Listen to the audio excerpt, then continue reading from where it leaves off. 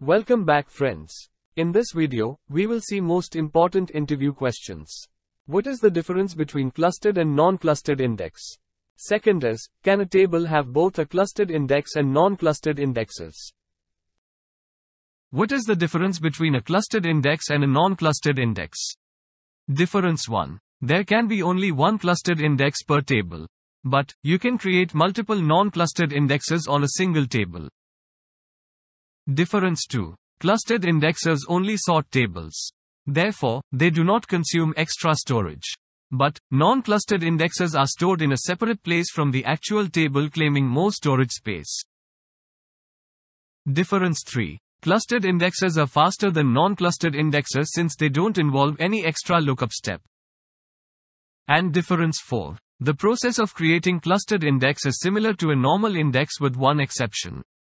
With clustered index, you have to use the keyword clustered before index. But, in case of non-clustered index keyword, NONCLUSTERED, is used instead of clustered. Take a look at the script.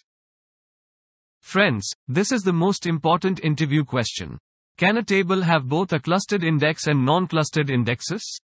Yes, a table in SQL Server can have both a clustered index and one or more non-clustered indexes.